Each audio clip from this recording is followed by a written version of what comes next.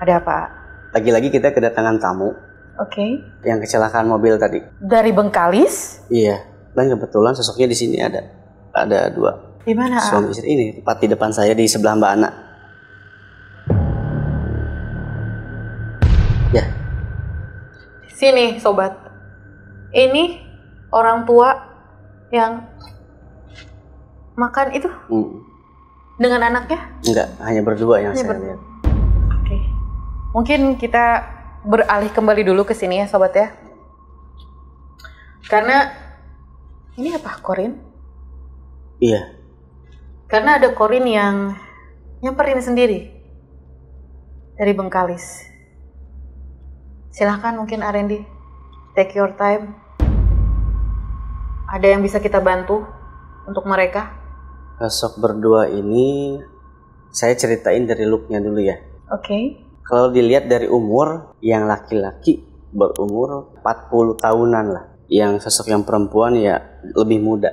Dari yang saya lihat, yang laki-laki dia memakai baju kerah mbak, kaos kerah, salur-salur ke sini. Vertikal gitu. Iya, Oke. warnanya biru, bajunya biru. Jadi garisnya itu ada putih, ada hitam. Oke. Jadi ada dua garis di sana. Oke. Kerahnya berwarna putih. Oke. Celana jeans panjang. Oke. Yang satunya memakai kerudung Oke. berwarna hitam. Apa ya? Bukan kemeja sih. Gimana sih saya saya nggak tahu penyebutannya lah kalau baju-baju perempuan gitu ya. Yang jelas dia warnanya biru muda. Hmm. Jadi kerudungnya hitam, si baju yang dipakai itu warnanya biru muda, pakai rok hitam. Yang saya baca sih, mereka eh, mencoba meminta tolong. Oke. Untuk? Kemungkinannya adalah untuk disempurnakan mungkin ya, karena saya belum belum tahu lebih jauh gitu.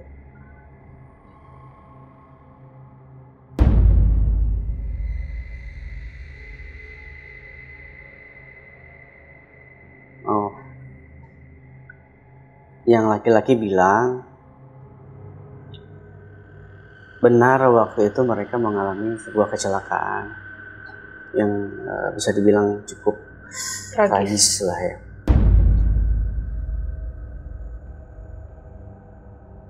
Yang jadi permasalahan di sini adalah dari teknis mungkin ya.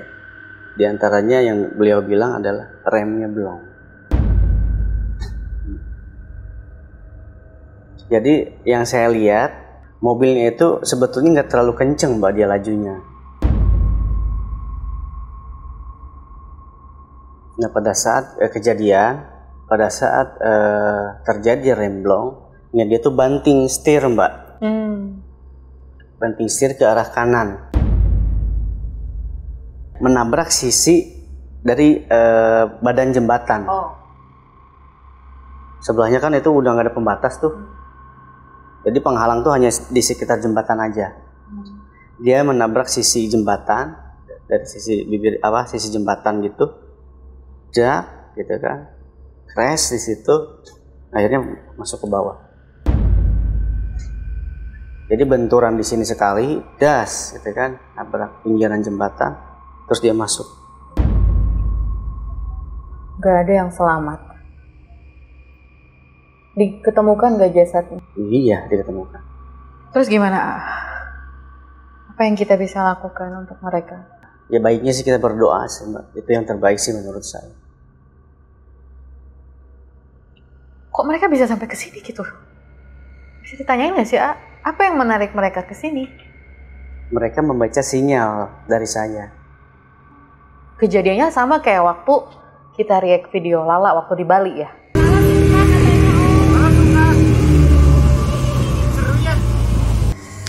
Kebetulan memang sosoknya ada sekarang. Waduh, waduh, waduh. Dari dari muka ya dari wajah bisa dipastikan dari kedua sosok ini itu lumayan parah sih mbak. Maksudnya dari looknya ya. Aku sendiri nggak berani nanya. Oh, gimana untuk detail gitu Ini karena maksudnya bukan untuk maksud apa-apa ya. Eh, saya hanya menjelaskan dari apa yang saya lihat. Itu aja sih. Jadi nggak nggak ada maksud lain lah, oh gitu. barusan lampu ngedip Iya. apa nih mati Ini nih mati nih. ini lobet atau apa nih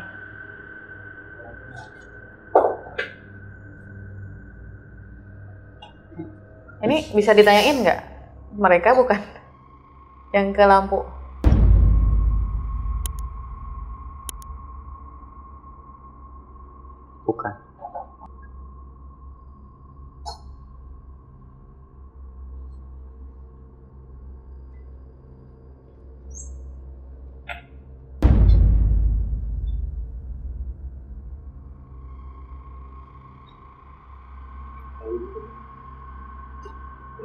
why?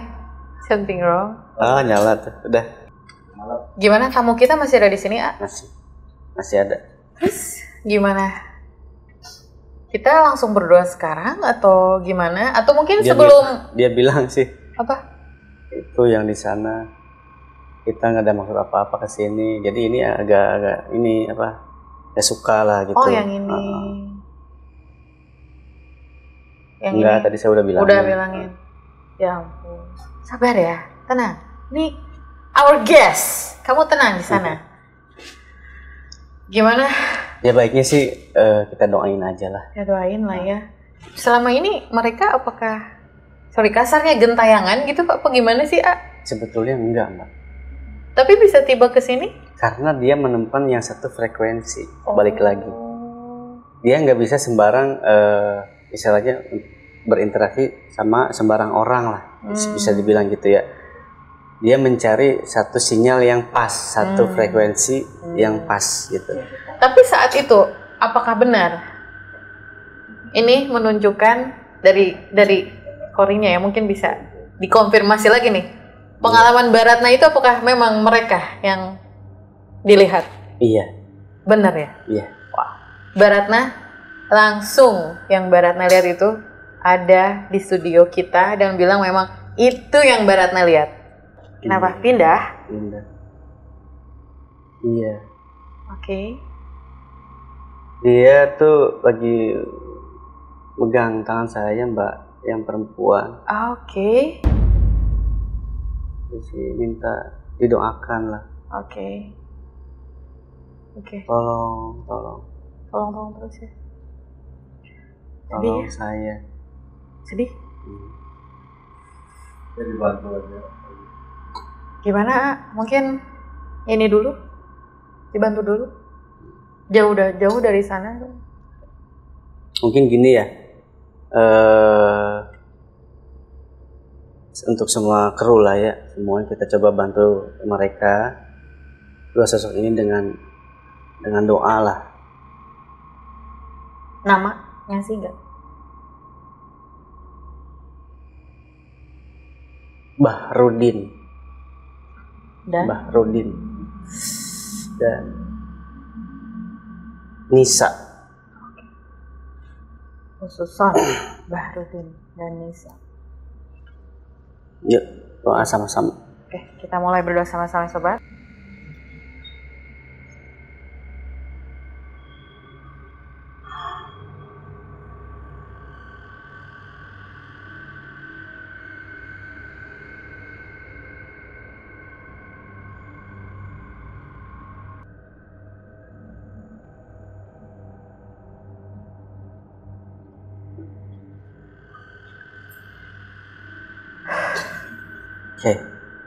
Looknya berubah jadi normal.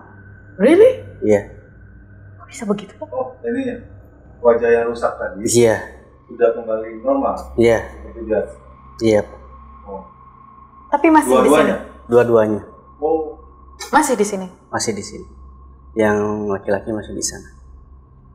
Oh, yang maju tadi yang perempuannya. Hmm, Iya. Sudah lebih tenang. Hmm. Dia bilang sih, terima kasih banyak. Oke. Sudah membantu kami. Bilang gitu. Semoga kebaikan ini dibalas Tuhan. Amin ya robbal alamin. Sama-sama. Semoga Pak Baharudin, Bahrudin. Bahrudin dan Ibu Nisa mendapat ketenangan dan kesejahteraan di alam yang baru. Terima kasih sudah berbagi ceritanya dengan kami di MTB. Semoga pelajaran dari apa yang pernah dilalui oleh Pak Bahrudin dan Bu Nisa menjadi hikmah yang baik untuk kita semua. Karena berawal dari kejadian teknis, jangan lupa untuk selalu cek kendaraan kalian sebelum bepergian, sobat. Tapi saat kejadian itu, ketika ketika kejadian kecelakaan, emang tidak ada interupsi mistis lain kan di jembatan itu, ah? Saya sih nggak menangkap itu, Mbak. pure teknis berarti. Iya. Mungkin kalau yang berkendara malam bisa jadi ngantuk ya. Iya banyak hal. Lalu rem Iya. juga. banyak faktornya. Nah mereka bilang mereka mau pamit. Oke.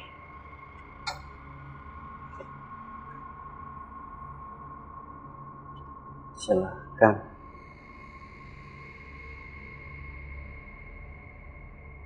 Waalaikumsalam.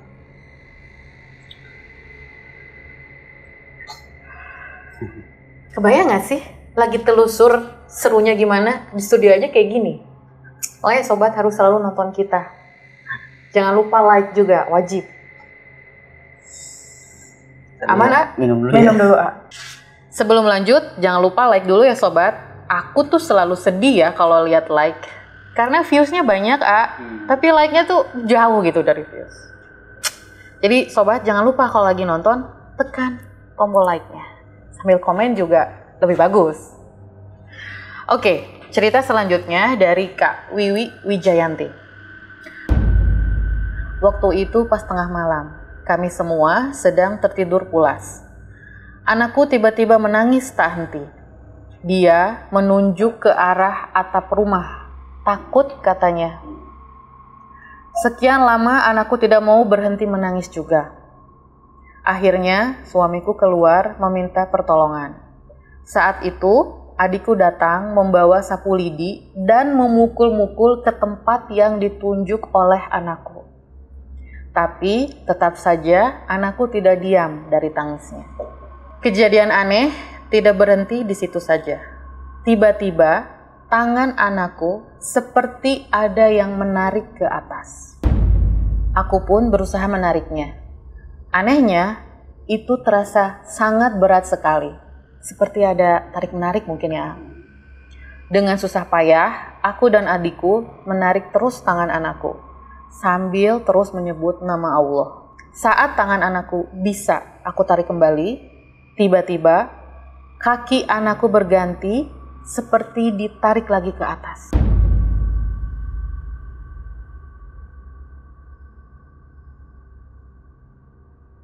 Kepanikan malam itu tidak hanya berhenti di situ saja.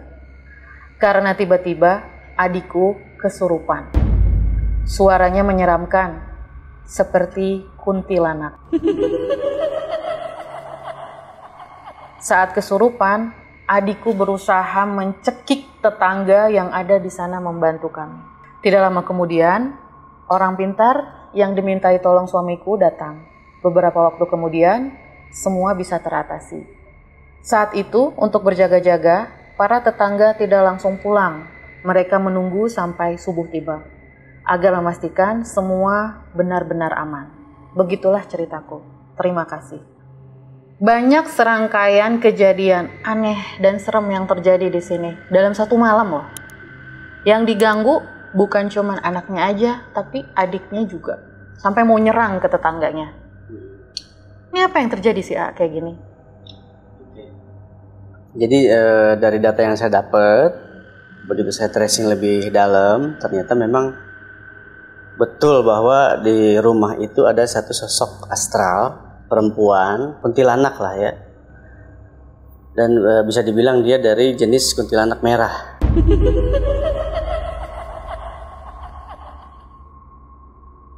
Kenapa dia ngeganggu keluarga ini? Nah itu dia. Mungkin ada tujuan tertentu mbak di sini. Saya eh, nggak bisa buka lebih dalam ya sobat di sini karena memang kemungkinan eh, lebih sensitif gitu.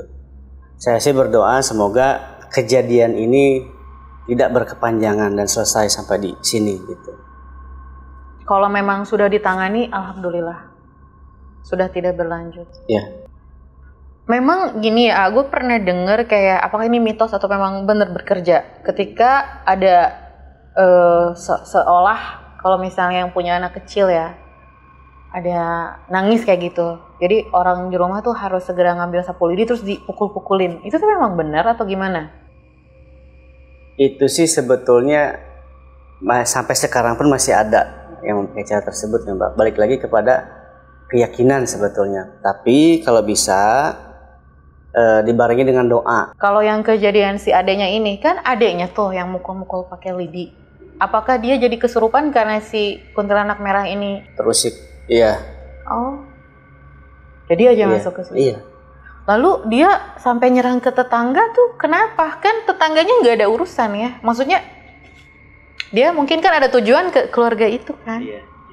Kenapa ke tetangganya mau nyerang juga? Ya karena dia tuh nggak suka banyak orang, Mbak.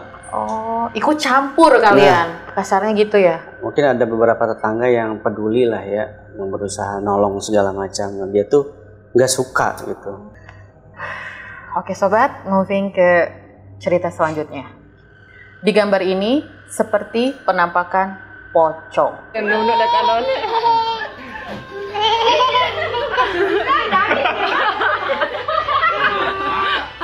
Menurut Arendi itu apa? Sama sekali tidak merasakan vibrasi, Mbak. Dari sosok astral di sana. Jadi kemungkinan itu hanya benda ya kalau gitu. Ya, Kalau di area lainnya mungkin saat si kakak ini sedang ngumpul ada sesuatu yang malah mungkin mencuri perhatian Arendi nggak? Sumpitnya mungkin? sejauh ini sih normal, Mbak. Aman berarti ya? Aman. Nah Arendi, itulah cerita kiriman Sobat Tapal Batas yang menarik yang sudah kita Bahas. bahas bersama. Lumayan ya ceritanya ya. Saya cukup tidak menduga akan begini loh. Mm, mm. Dan juga super amazed dengan cara kerja tracingnya R&D atau metafisik secara umum ternyata bisa bisa begitu ah. Ya balik lagi kan ini karena kehendak dari kuasa Tuhan lah. Hmm. Apa pun bisa terjadi kan, Mbak. Kalau boleh A, sedikit digambarin ke sobat, biar ada gambaran. Aku pun sendiri ingin tahu ya. Ketika Arendi mendengarkan cerita, ini bahkan yang nggak ada foto atau videonya. Lalu bisa kegambar semua. Bahkan ada yang datang ke sini makhluknya. Itu tuh yang Arendi lihat tuh seperti gimana sih? Apakah Arendi tadi pergi dulu ke sana, ke masa itu? Atau gimana sih, A? Jadi saya tuh seperti melihat layar lah, Mbak. Layar yang besar lah. menurut AA cerita yang paling menarik dan berhak mendapatkan kaos MTB yang seperti kita pakai ini nih sobat. Boleh Min ada contoh? Ya. Thank you. Yang berhak mendapatkan kaos MTB ini supaya kembaran nih sama kita. Yang mana nih alasannya apa eh saya pikir sih Mbak Ratna ya, cerita Mbak Ratna. Baratna karena Karena luar biasa sih kalau menurut saya pribadi, Mbak. Susah buat dijelasinnya gitu. masih kayak Saya aja speechless gitu. trap terus gitu ya sama ceritanya dan kayak apa ya dari cerita Mbak Ratna kita juga dapat banyak hikmah Iya, betul. untuk selalu berhati-hati. Jadi Mbak Ratna silahkan DM ke IG, TikTok atau sosmed Misteri Tapal Batas atau komen juga boleh ya. Dan sobat, kalau kalian juga mungkin punya pengalaman yang sama seperti cerita-cerita sobat yang tadi kita bawain, boleh untuk sharing ya pengalamannya di komen. Jangan lupa sobat untuk like juga. Aku tuh suka sedih beneran, A. Komennya tuh manis gitu, sobat tuh. Seneng aku baca komennya. Wah ini ya seru-seru. Tapi like-nya yang sobat yang nonton dengan like tuh beda gitu. Sobat jadi pas ya udah pesen kalau kalian pengen terusin nih konten MTB, bantu kita juga untuk nge-like, komen, share video kita ke teman-teman. Jadi MTB-nya berusaha bikin konten seperti yang kalian inginkan, kalian juga bantu kita ya. Oke, A, cukup Cukup. untuk sesi sekarang dan ada video-video telusur yang nggak kalah menarik untuk diikuti. Itu. Oke sobat, sampai jumpa di next episode. Salam Rahayu.